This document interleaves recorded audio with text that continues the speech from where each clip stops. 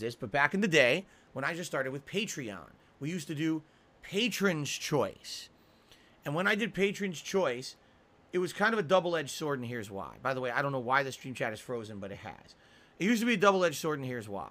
Okay? the patrons would get ultimate power. They would. Okay? Um, and they would they would outright have all control over this playthrough. That would happen. Okay? But number one, undoubtedly what would happen, I'd have a bunch of patrons and probably 10% of them would nominate and vote for games.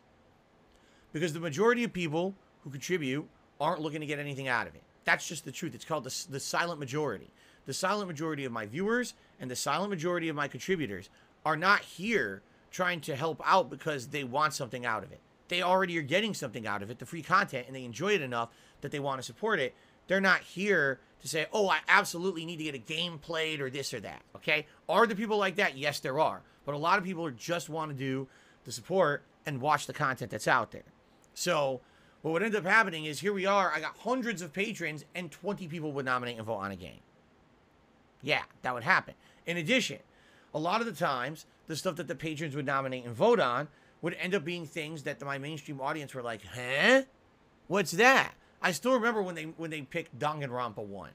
And everyone was like, what the hell is Danganronpa? And freaking out about it. And keep in mind, Danganronpa 1 was an incredibly long playthrough that a lot of people gave me shit for playing. Like, dude, this game is like 40, 50 hours long and we don't care about it. And I was like, yeah, but it's what the patrons nominated and asked for. We got to do it, you know? Um, so it was kind of a mixed bag because sometimes it would totally open my eyes to a whole genre or something that I never played, didn't even know existed. And that was really neat. At the same time, a lot of the times it wasn't in line with what my mainstream video audience was really interested in because it was just a small group of people who had asked for it. I truly feel that if we just did members only playthrough like that, that's probably exactly what would happen. Is that we'd have a situation where maybe 100 members, maybe less nominate, even less vote, and we end up with a game that's great, but you have half the people complaining half the time, why are you still playing this? I'd rather have it with members will have very increased priority and very increased ability to formulate the polls or what game will be, be ultimately played but there is an element where the public also is involved, so that way we get everyone's input, okay?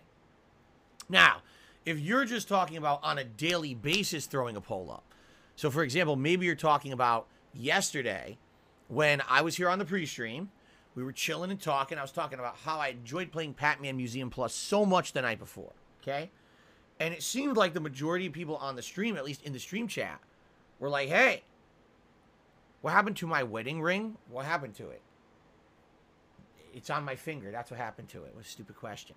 Um, so people uh, people were seem to be of the impression that they really really wanted Pac-Man Museum. So I put it to a poll. Now, I put it to a poll here on the stream chat and I put it to a poll on the main channel page as well. So I had two completely different polls. We had the live audience and the on-demand audience both voting at once.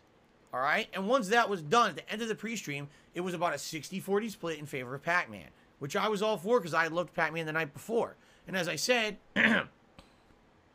likely I would not um, be doing that with a regular game that is scheduled, that's an ongoing playthrough, that's a new release. If it's a new release and people want an ongoing narrative or whatever, then yeah, I don't want to bump it. But in this case, Skyrim's a game I've already played when it was new over 10 years ago. It's a playthrough we've been playing since freaking December. It's known as the chill stream game. There was absolutely no reason to put priority on Skyrim. We could bump Skyrim at any time. It is definitely the game that can be bumped if we want to bump it to do something else. And it just so happened that it was a really great opportunity um, to do something different and for variety. And I really enjoyed myself yesterday. We had a great time, I feel. So no regrets there. Excuse me. Okay. Now, Snowcrawl did another $1.50 tip and is saying one of the dumbest things I've ever, I've ever heard. I'm seriously not even going to read it. Seriously.